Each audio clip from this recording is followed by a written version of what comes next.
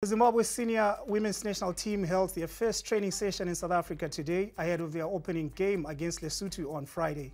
Mighty Warriors head coach Shadrack Mlauzi and his technical team took the players through their paces at Wits University in Johannesburg this morning. Despite their recent absence from the international scene, Zimbabwe will be favourites to progress from Group C, which also has Lesotho, Namibia and Botswana.